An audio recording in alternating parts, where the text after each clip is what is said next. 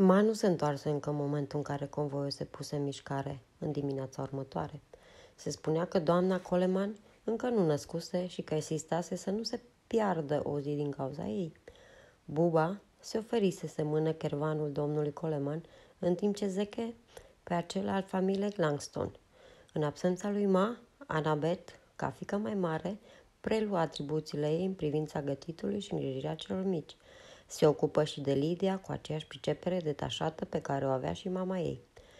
Lidia era uimită de cunoștințele fetei în materie de nașteri. Îmi pare rău că ți-am dat atâta bătaie de cap, se scuză ea, când Arabet schimbă pansamentul. Șt, am făcut-o și pentru Ma când i-a născut pe ultimul doi frați și am și eu ciclul de la 10 ani. Nu e nicio problemă. Când convoiul se opri la prânz, Ma se întoarse și le spuse trist că doamna Colema murise, doar cu jumătate de oră în urmă după ce născuse un băiat. Era o ființă atât de delicată. Domnul Coleman nebunit de durere, simțindu-se vinovat că a luat-o cu el în această călătorie. Femeia îi spusese că îi va veni sorocul abia în septembrie, cu mult după ce vom ajunge în Jefferson. Nu-i vina lui, dar moartea ei l-a afectat foarte tare.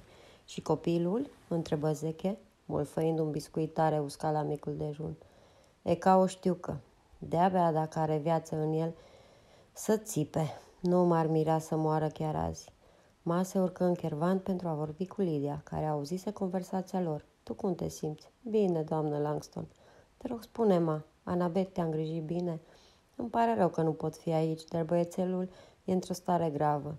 Nu vă faceți griji, murmură Lidia. Mă simt bine. Imediat ce mă refac, am să plec. Dacă e după mine, n-ai să pleci.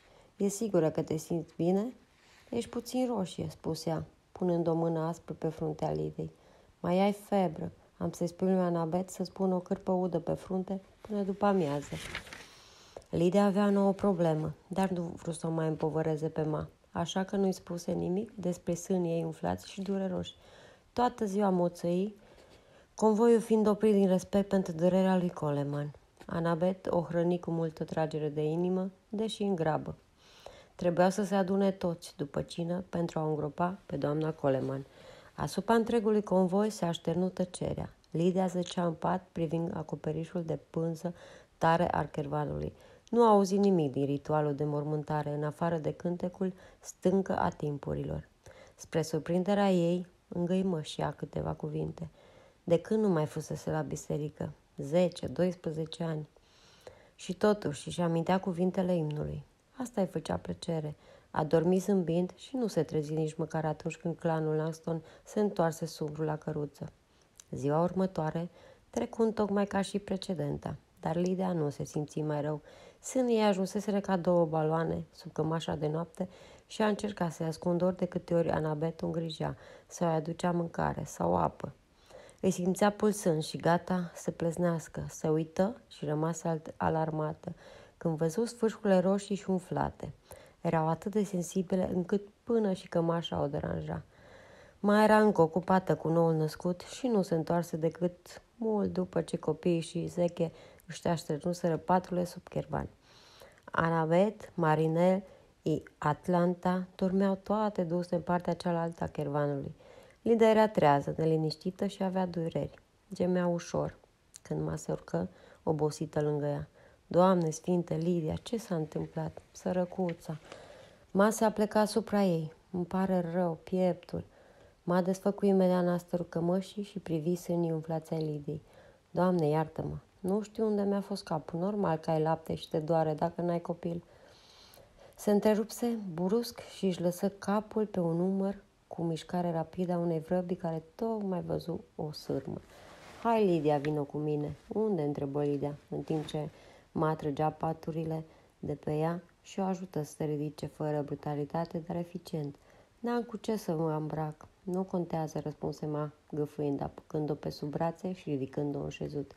Tu ai lapte și n-ai pe cine alepta, iar copilul ăla moare de foame. Are nevoie de doică. M-a hotărât să o duc acolo la copilul acela, care plângea neîncetat de două zile. Sunetele acelea sfârșietoare se auzau chiar și acum, răsunând pe deasupra convoiului adormit. Ma o ducea acelui omules cu vocea lui iritată. Lidia nu voia să meargă, nu voia să fie privită de oamenii curioși care se întrebau de ce născuse singură în pădure. După atmosfera plăcută și pașnică din căruță, era teamă să plece. Se părea însă că nu avea de ales. Mă aruncă un șal pe umerii ei și o împinse blând în jos pe scărița din spatea cărvanului. Decât cu pantofii ăia, mai bine mergi de sculță deocamdată. Vezi să nu calci pe vreo piatră. Șocul din clipa în care atinse pământul, după atâtea zile, o făcu să tresară, provocându-i dureri în sânii care atârneau liber sub cămașa de noapte. Singurul ei veșmânt, în afară de șalul de pe umeri. Părul era nepieptănat, un ghem de fire încălcite. M-a spălase sângele și scurgerea dintre pulpele ei, dar corpul era nespălat de multe zile. Era murdară peste tot. Călcâile se înfingeau în pământul moale, umed, protestând. Te rog, ma, nu vreau să mă vadă cineva. Prostii, spuse ma, energic aproape, trăgând-o de braț spre singurul chervan din convoi în care ardea o lumină. Pot salva viața micuțului. Nimeni nu o să se închisească de cum arăți. Dar nu era așa. Lidia știa că nu e așa. O mai insultaseră și alții. Știa cât de răi pot fi oamenii. Domnule Grayson, strigă Ma cu voce scăzută, când ajunse să lângă chervanul luminat, dând la o parte pânza care o acoperea intrarea. Ajută-mă puțin. O împinse pe Lidia de la spate, în sus, iar fata nu a avut control și trebuie să se urce în chervan. Pielea strânsă dintre pulpele ei se întinse dureros, făcând-o să ezite. Atunci o pereche de brațe puternice, în mâneci albastre, se întinse spre ea și o ajută să urce. Ma o urmă imediat. Se iscă un moment de confuzie în clipa în care toți trei, străini unul față de celălalt, se pomeniră față în față. Bărbatul cu păr cărunt privea uimit fata din fața lui. Femeia slabă de lângă el deschise gura surprinsă. Lidia plecă ochii pentru a evita privirile lor. Acesta este domnul Grayson, șeful convoiului, o informă ma. Răm- Lidia rămase cu capul plecat, privindu-și picioarele desculse pe podea, de scânduri a chervanului și dădu doar din cap, în semn că auzise. Iar aceasta e doamna Leona Watson, continuă ma, în șoaptă, din respect pentru omul așezat pe un scăunel, cu capul îngropat în mâini și coatele proptite pe genunchi. Doamna Watson fu aceea care psese tăcerea. Cine Dumnezeu și de ce umblă pe aici despuiată în felul ăsta? Aha, asta e fata care au găsit-o băieții dumitale și au adus-o în convoi. Trebuie să spun că sunt surprinsă că ai adus o, o astfel de persoană aici, mai ales într-un moment ca ăsta. Ăsta e un priveg, nu? Poate că nu, replică Ma, pe un ton care arăta clar antipatia ei pentru cealaltă femeie. Domnule Grayson, fata asta a avut un copil al alter, are lapte. M-am gândit că dacă micuțul domnului Coleman ar putea suge. Oh, doamne, exclamă doamna Wasin cu un aer nefericit. Pe sub gene, Lidia a văzut femeia, ridicând o mână, descrânată spre pieptul ei slab și apucându-și rochea ca pentru a îndepărta un spirit rău. Ma nu fu intimidată de dezaprobarea Leonei Wassing și continuă, adresându-se șefului de convoi. Micuțul ar putea supraviețui dacă l-ar alăpta Lidia. Doamna Wasky interveni, înainte ca domnul Grayson să poată spune ceva, pentru că se stârni o discuție aprinsă. Lidia cercetă interiorul chervanului atât cât permitea poziția ei periferică. Pilotele puse grămadă într-un colț erau din material mai bun decât cele ale familiei Laxton. Una avea benzi de satin în componența țesăturii. Mai era acolo o pereche de ghete elegante din piele albă de ied, cu butoni așezată lângă o lădiță cu vase de porțelan.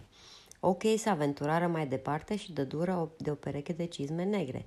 Depărtate una de alta, cizmele înalte până la genunchi, strângând două gambe lungi. Erau scorojite, dar de cea mai bună calitate și două picioare lungi și bine formate. Tocurile erau înalte de vreo 2 cm și făcute din lemn vopsit în negru. Bărbatul care purta acele cizme trebuia să fie înalt, judecând după lungimea pe care o avea fluierul piciorului. Eu îți spun că nu e bine, spuse doamna Watson, ale cărei obiecții crescuseră înălțime și intensitate. O mână ca o gheară oprinsă de bărbie ridicându-i capul, cu o mișcare bruscă. Privea cum o față, descărnată și fără viață, era îngustă și brăzdată de ridul. Nasul era ascuțit și drept ca o lamă de cuțit. Buzele făcute pungă de prea multe ori în semn de dezaprobare. Era un centru unei rețele de riduri. Ochii se potriveau cu vocea cercetorii și răi. Uitați-vă la ea, e o vagabandă. Se vede de la o poștă, probabil că e o prostituată. Dumnezeu să mă ierte că am rostit cuvântul ăsta, care a făcut un copil. Posibil să-l fi omorât ea însăși ca să scape de el. Mă îndoiesc că a știut vreodată cine e tatăl copilului. Nelucită de tot ce spunea femeia, Lidia o privea fără să scoată un cuvânt. Apoi spuse, abia respirând, nu. Doamnă Wasim, vă rog, interveni domnul Gayson cu diplomație. Era un om cu suflet caritabil, deși era înclinat să-i dea dreptate femeie Wasim de data aceasta. Tânăra femeie avea într-adevăr ceva sălbatic în ea. Nu exista niciun strop de rafinament, nici în modul de a se îmbrăca, nici în modul nerușinat în care îi susținea privirea cu ochii căprui neobișnuiți. Nu-i deloc așa, strigă ma.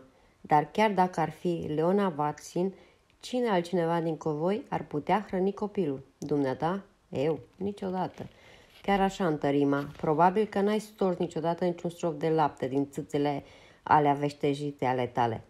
Ma, te rog, spuse Grayson obosit. Ochii Leonei Oasin luceau, aprinși de furie, dar nu spuse nimic, luându-și o țintă semeață, ciupindu-se de nas cu discret față de întreaga situație. Ma o ignoră. Domnule Grayson, e de datoria dumitale să ai grijă de fiecare viață din acest covoi, inclusiv de cea a băiatului de acolo. Ascultă-l. Din 20 de familii, singura femeie care are lapte și hrănește gemenii ei. Lidia e singura speranță pentru acest copil. Ei, ce zici? Vrei să-i salvezi viața sau să-l las să moară? Leona Waxin își încrucișă brațele pe piept cu un gest plin de dispreț. Își declină orice responsabilitate față de consecințe. În caz că Grayson accepta să facă ceea ce îi propunea energica Malagaston, întotdeauna o considerase extrem de vulgară și acum avea dovada. Singura părere care contează este cea a domnului Coleman, spuse Hal Grayson. Ross, tu ce spui? Vrei să-ți alepteze fiul și să-l salveze? Lina le întoarse spatele. Nu-i păsa ce credeau ei despre ea. Îndată ce se va simți bine, avea să se ducă într-un loc unde nu cunoaște nimeni și să înceapă o viață nouă fără niciun trecut. Inconștient, se apropiase de locul unde pruncul zăcea într-o ladă de mere, goală, căptușită cu flanel. Tocmai se uita la bulgărul de viață ce se chinuia când auzi mișcările lui Coleman care se ridică în picioare. Lidia era cu spatele la el, când acesta, ridicându-și capul, se uită la fata care declanșase acea dispută și îl deranjase din gândurile lui triste din cauza morții Victoriei. Bărbatul observă întâi părul, o veritabilă încălceare de bucle și frunze uscate, și Dumnezeu mai știe printre ce ce fel de femeie este aceea care umblă cu părul legat în primul rând? Doar un singur gen, după câte știa el. Din spate arăta stream de subțirică în cămașa de noapte. Gleznele ce ieșeau de sub ea erau mici, picioarele erau și ele mici. Și murdare, doamne! N-avea nevoie de această arătare după clipele dureroase pe care le trăise. Nu vreau ca fata asta să se atingă de copilul meu, mormăi el cu dezgust. Vă rog să plecați toți și să ne lăsați în pace. Dacă e să moară, lăsați-l să moară în pace. Slavă Domnului că mai există și oameni cu mintea întreagă. Lasă gura, se restima la Leona Oasin, dând-o la o parte pentru a se apropia de Ros. Pare un om rezonabil, domnule Coleman. De ce nu vrei să o lași pe Lidia să strânească fiul? Cel puțin să încerce să-i salveze viața. O să moară de foame. Am încercat totul, spuse Ros impacientat trecându-și degetele pe părului negru și des cu un sentiment de frustrare. Nu vreau să bea lapte de vacă din biberon, nici apă cu zahăr pe care i-am dat-o azi noapte. Are nevoie de lapte matern și fata asta are din belșug. Of, doamne, exclamă Leona Watkin. Ros se uită din nou la fată, stătea între el și lumina palidă a lămpii, contărându-și liniile corpului prin cămașa subțire. Sânii ei păreau într-adevăr grei, voluptoși, ceea ce îi displăcea. De ce să făția pe acolo doar în cămașul de noapte? Chiar dacă era slăbită după naștere, nicio femeie decentă nu s-ar arăta altora, mai ales bărbaților în ținuta asta. Buzele lui se răsfrânseră cu repulsie, întrebându-se din ce bordel fusese culeasă. Victoria ar fi fost îngrozită să o vadă. N-am să las copilul Victoriei să fie hrănit de o vagabantă, spuse el încordat. N-ai de unde să știi asta. Eule pădătură, strigă el. Furia pe care o purtase în suflet împotriva tuturor de la pierderea nemeritată a victoriei erupsese în cele din urmă. Fata era țapul pășitor. Nu știi cine e, nu știi de unde e. Numai un anumit gen de femeie face un copil fără un bărbat care să aibă grijă de ea. Asta a fost cândva, după război, însă nu, nu mai ales în, când țara mișună de renegați, neispreviți și ianchei, care cred că tot ce se află în sud, inclusiv oamenii, le aparțin. Nu știm prin ce a trecut. Aduți aminte că și-a pierdut copilul acum două zile. Lidiei nu-i păsa de această dispută. Atenția ei fusese subjugată de copil. Pielea lui avea o paloare anormală. Lidia nu mai văzuse un om născut în afară de al ei propriu. Acesta era încă și mai mic și puținătatea trupului să o alarma. Putea oare să-l mai salveze? Degetele lui strânse în pumni erau aproape străvezii. Avea ochii închiși și respirația era scurtă, superficială. Stomacul îi se ridica tresăltând. Plânsetul lui era întrerupt ca și cum trebuia să facă pauze pentru a respira, dar era continuu. Pentru Lidia era ca un cântec al rorerei. O atrăgea inexorabil. Simți o zvârnire în adâncul trupului, ceva similar contracțiilor nașterii, dar fără durere. Inima părea să îi se dilate, apăsându-i sânii deja umflați, care, la rândul lor, îi dădeau înțepături, nu datorită scurgerii laptelui, ci din lipsa unui sugar. Simțea o nevoie de a aduce alinare maternă. Îl privea, fără să-și dea seama că se mișcă, în timp ce degetele ei îi atingeau obrazul neced. Apoi mâna ei alunecă sub capul pe care îl putea cuprinde ușor în palmă. Cu mișcări ușoare, de teamă a nu-i face vreun rău, își trecură cealaltă mână sub șalele lui și îl scoase din lădiță, privindu-i fața încrețită. Congestionată, se așeză pe un scăunel cu trei picioare. Piciorușele copilului se zbătură izbind-o în stomac. Lidia îl întoarse pe o parte, cu părintul în brațe. Capul micuț se ridică și fața zvâgnită se lipi de sânul plin. Lidia privea hipnotizată, uimită, cu gura lui, ca un cioc de pasăre, se întorsese spre ea. Era deschisă și căuta ceva. Senină ridică mâna la primul nastur al cămășii de noapte și îl deschise. Urma al doilea și apoi ceilalți până când reuși să-și dezgolească un număr și apoi sânul. Cu mâna liberă își dică sânul spre fața copilului. Gura lui se deschise. Căută, bâlbuind, și, în cele din urmă, găsi sfârcul. Copilul se arunca asupra lui imediat și începu să sugă lacul. Întreruperea bruscă a plânsetelor puse imediat capă discuției din căruță. Ros simți că îi se frânge inima. Primul lui gând fu acela ca copilul lui murise. Se întoarse, așteptându-se să-l vadă nemișcat, dar priveliștea care se învățișa ochilor lui alarmați îl umplu de uimire.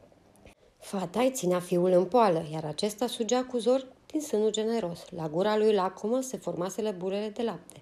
Fata se aplecă ușor asupra copilului, împingându-un sânul mai adânc în gura lui. Ros nu-i putea vedea fața din cauza părului buclat care o acoperea. Priviți, zbunima, cu satisfacție. Cred că asta spune tot. Domnule Grayson, nu vreți să o conduceți spre Leona înapoi la căruța ei? Rămâne eu aici să o instalez pe Lidia. Să o instalezi? Țipă Leona. Doar nu o să stea aici în căruța domnului Coleman. N-ar fi decent. Hai, doamnă Watkin, spuse Gan Grayson. Era nerăbdător să meargă la culcare. Nu mai era mult până la ziua și moartea doamnei Coleman aruncase o umbră neplăcută asupra călătoriei spre Texas. Nu ținuse cu tot din anunțul să fie șeful convoiului, dar fusese ales de ceilalți și voia să arate că aceia care le acordaseră încredere nu vor fi dezamăgiți. O să punem lucrurile la punct, mâine dimineață. Sunt convins că nu se va întâmpla nimic indecent până atunci, spuse el, trăgând practic femeia jos din căruță. După plecarea lor, Ma se uită la Ros Coleman, care privea fata cu expresie aspră, neîndrăznind nici să respire, gândindu-se ce va face omul din fața ei. Părea un bărbat simpatic, destul de prietenos și o trase pe soția lui de parcă ar fi fost regina din sala. Există încă o anumită tulburare în, în ochii lui. Ceea ce o făcea pe masă creadă că omul simțea mai mult decât lăsa să se vadă. Se mișca un pic prea repede. Ochii lui erau puțin prea pătrunzători și vioi pentru a trăda ca omul văzuse destule în viața lui pentru a se mira de ceva. În clipa aceea, arăta că unul care se luptă cu sine, pentru că fiecare din mușchii lui, fiind conturați, erau întinși sub pielea feței. Roș își forță picioarele să pășească pe podeaua căruței, plină de tot felul de lucruri. Fiul lui se hrănea lacom, nu mai plângea. Fata asta de pripas, străină, îi ținea fiul în brațe și l alăpta, iar el, el, Ros, stătea acolo lăsând-o. Ce-ar spune Victoria dacă ar vedea? Ros se înfioră când se gândi la modul cum corpul ei se răsucea, se zvârcolea și transpira. La suspinul ei din clipa în care își tusese duhul. Exact în clipa în care fiul ei își făcea intrarea în lume. Nu, nicio altă femeie, mai ales una de o moralitate îndoielnică, n-avea să crească fiul Victorei, Gentry Coleman. Ar fi un sacrilegiu. Cum ar mai putea trăi dacă ar lăsa să se întâmple așa ceva? Dar cum ar mai putea trăi dacă și-ar lăsa fiul să moară, din cauza unui principiu? Torturat de decizia pe care trebuia să o ia, se lăsă pe vină în fața scăunelului și privi la gura fiului său, care sugea avid din sânul acesta generos, a cărui siguranță, singură pe imperfecțiune, erau vinișoarele albastre ce se îndreptau ca niște râuri spre sfârcuri întunecat. Ros era fascinat și fu obligat să facă un efort pentru a-și ridica ochii spre fața femeii. Îi privi pleoapere, ridicându-se încet, extrem de încet. Ecranul gros fu în sfârșit ridicat și în momentul următor ochii lui priveau direct în ochii ei. Reacția fiecăruia facea de surpriză și intensitate, deși se străduiră amândoi să nu se strădueze. Ros simți că se cufundă într-un ocean de feminitate care îl înconjura, îi umplea nările, gâtul. Femeia personificare sensualitatea pură, iar el se scăldea în ea și, având în vedere recenta moarte a soției sale, detesta asta. Se strădui să iasă din această feminitate, așa cum cineva căută aerul într-o groapă cu nisip mișcător. Când putu din nou să respire normal, încercă să o evalueze cu o detașare forțată. Ochii ei erau încadrați de gene șaten cu vârfuri aurii. Irisul era de culoarea burbonului. Vechi, acela scump, care alunecă pe gât și se încolăcește în stomac într-o îmbrățișare fierbinte. Aveau aproape aceeași culoare neobișnuită, ca și părul ei ciufulit, care, după părerea lui, caracteriza firea ei sălbatică. Pielea ei era albă, dar arăta de parcă fusese expusă prea mult la soare. Pe nasul ei frumos, deși un pic cam prea îndrăzneț, exista un nor de pistrui. Gura ei îl turbura însă cel mai mult. Buza inferioară, cărnoasă, atragea atenția. Și un bărbat ar fi tribuit să fie mort să nu observe. El nici măcar nu încercă, ci o privind de lung, sper, sperând că o va face să se rușineze de sensualitatea gurii ei. Fata însă scoase limba și șumezi acea buză seducătoare. Ro simți din nou că îi se strânge stomacul și își mută privirea spre ochii ei. Fata nu părea câtuși de puțin rușinată de condiția ei sau de faptul că stătea acolo cu sâni expuși privirii lui. În cazul în care acesta dorea să se uite, ceea ce el jură sieși că nu o făcuse. Ochii ei îndrăzneți îi studiau tot atât de atent cum o făcuse și el. Nu bătu rușinoasă din gene, nu plecă timidă capul și nici nu arătă vreun semn de sfială. E o prostituată, născută să fie asta. Coleman cunoscuse prea multe ca ea pentru a nu recunoaște semnele, pentru a nu vedea provocarea tăcută mijând în ochii ei, pentru a nu simți sângele fierbinte care curgea prin vene. Era exact opusul blândeții aristocratei Victoria și asta era un motiv suficient pentru a o desprețui. Lidia își spunea că dacă expresia aceea de dispreț s-ar îndulci puțin, ar fi cel mai atrăgător bărbat pe care îl văduse vreodată. În orice caz, era unul dintre cei mai interesanti. Simțise o ușoară sufocare când ochii lor se întâlniseră prima oară și nu-și dădea seama de unde venea această nervozitate. Bărbatul era nebărberit. Obrazul era acoperit cu țepi negri, o mustață neagră, deasă, se curba deasupra buzei superioare. Buza inferioară era dreaptă și fermă acum, în timp ce o privea pătrunzător cu ochii lui verzi. Ochii îi privi cu atenție. Erau de un ger rar. Foarte verzi, așa cum nu mai văzuse până atunci. Și erau încadrați de gene scurte, negre, care se adunau în mănunchiuri țepoase. Era tentată să-și treacă degetul pe stele să vadă dacă erau umede, așa cum păreau. Sprâncenele lui erau stufoase și intimidante. Părul negru, ca noaptea, fără alte umbre sau nuanțe, era ondulat, cu bucle, bucle care se convoiau pe după ureche și pe gulerul cămășii. Statura lui părea enormă, așa cum stătea acolo în fața ei, dar Lidia nu se uită la corpul lui. Corpurilor bărbaților o îngrozeau, îi stârneau repulsie și felul aspru în care o privea nu era deloc de natură să-i domulească frica. Chiar atunci când îl privi, ochii lui se îngustară amețitori, ca și cum ar fi plănuit o pedeapsă severă. Pentru ce anume își imagina? Ochii ei ezitară o clipă înainte de a-i lăsa în jos asupra copilului, care continua să sugă. Lidia, e momentul să schimbi sânul, spuse ma blând, reușind să se strecoare între ea și tatăl copilului. Ce? Întrebă fata cu o voce răgușită.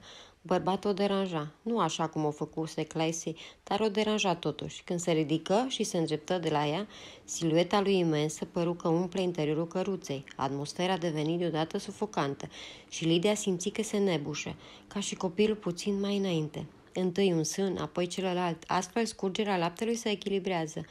Ma ridică copilul din brațul Lidiei. Gura lui se fixă ca o ventuză de sfârc și când fu îndepărtat, copilul începe să plângă iar. Când se simți din nou cuibării pe celălalt braț, se arunca asupra sânului, oferit imediat. Un râs spontan, fericit, se răspindi în interiorul chervanului. Lidia așa aruncă părul pe spate și râse răgușit. Ochii ei reflectau lumina lămpii. Străluceau ca niște picături de whisky străbătute de razele soarelui. Apoi, întâlnirea ochiului ros și întreaga lor strălucire se stinse. Bărbatul o privea ostil din celălalt capăt al căruței. După ce termin cu flăcăul, am să te aranjez pentru noapte, spuse Ma, uitându-se radioasă spre fată și copil. Nu poate rămâne aici. După ce termină, te rog să o scoți afară. Vocea bărbatului tăie aerul în căruță cu precizia unei lame. Ma se întoarse spre Ros, cu pumnii strânși, înfipți în șolduri. Nu crezi că o să-i fie foame, iar, domnule Coleman? Ce ai vrea să facem? Să o aducem tocmai din partea cealaltă a taberei de fiecare dată când copilul trebuie hrănit? Sau vrei să-l aduci dumneata personal? Mi se pare cam prea multă bătaie de cap, inutilă, ca să nu mai vorbim de ce se va întura micuțul. Nu mă deranjează să o primesc pe Lidia și aș fi primit-o chiar și cu copilul, dacă ar fi trăit, dar n-am să-l țin la mine pe fiul dumitale, când aici e atâta spațiu și liniște, termină ea, bosuflată. Ros își îndreptă corpul cu demnitate, dar trebuie să-și aplece capul și umerii pentru a putea stea drept în căruță. N-aveam intenția să apelez la mila dumitale pentru fiul meu, dar fata nu poate rămâne aici. O cheamă Lidia, spuse Ma, și de ce, mă rog, nu poate sta aici? Cine o să vadă de băiat în timpul zilei? Dumneata pleci la vânătoare sau în cercetare și mai conduci și echipa. Cine să aibă grijă de el dacă se îmbolnăvește? Hai, Domnul Coleman își prinse colțul mustății cu dinții, rumegând-o și continuă cu obiecțiunile. Nici măcar nu e curată. E drept că nu e. A născut singură în pădure. Cât de curat ar trebui să fie? Eu? Iar eu n-am spălat-o pentru că a avut febră și n-aveam chef să moară cineva. Dacă te referi cumva la faptul că sângerează, să știi că la fel ar fi fost și cu soția acea drăguță și decentă a dumitale. O să se oprească într-o zi, două, și după atunci, eu sau Anabet o să venim să o îngrijim. Lidia stătea cu capul aplecat asupra copilului, arzând toată din cauza acestei discuții penibile. Cuvintele fără ocolișuri ale lui Ma păreau să-i fi redus la tăcere pe Coleman, întrucât acesta nu mai spunea nimic. Tensiunea din căruță crescuse. Bărbatul radia antipatie, așa cum pietre radiază căldură în timpul iernii. În cele din urmă, copilul se sătură.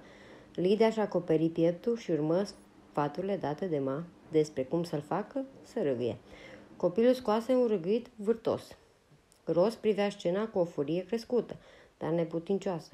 Cine știe câți bărbați prinse în patul ei? Și acum privește lea, făcând-o pe femeia decentă care își alăptează copilul. Copilul lui și al Victoriei. Dar ce putea face? Fiul lui trebuia să trăiască. Era singura legătură cu femeia pe care o iubise atât de mult. Tu și inutil de tare. Bine, să rămână, temporar. Îndată ce voi găsi un mijloc să-l hrănesc și să-l îngrijesc eu însumi, afară cu ea. E clar, aici nu-i spital de caritate. În plus, nu vreau ca o femeie ca ea să se ocupe de copilul Victoriei. Îmi pare rău de propriul ei copil, dar probabil că e mai bine că a murit. Fata ori e prostituantă, cum spune doamna Waxin, ori una care și-a dezonorat familia sau a fugit de la bărbatul ei. În orice caz, nu e genul de femeie în seama cărei să-l las copilul. Dacă n-ar fi o chestiune de viață și de moarte, n-ar lăsa-o. Ei, acum că știi condițiile, mai vrei să rămâi? O întrebă el pe fata a plecat asupra pruncului adormit. Lidia își ridică fruntea și întâlni privirea ochilor lui verzi. Cum se numește copilul? Ros fu descumpănit de întrebarea ei blândă. A, le... L-am botezat le. Lidia îi zâmbi copilului, strângându-l mai aproape. Mâna ei în tu, acoperit de fire negre. Le, murmură ea drăgăstos, privind în sus spre tatăl copilului cu o expresie pașnică spuse. Am să mă ocup de le atât timp cât va avea nevoie de mine, domnule Coleman, chiar dacă va trebui să suport oamenii ca dumneavoastră, adăugă ea cu enfază după câteva clipe.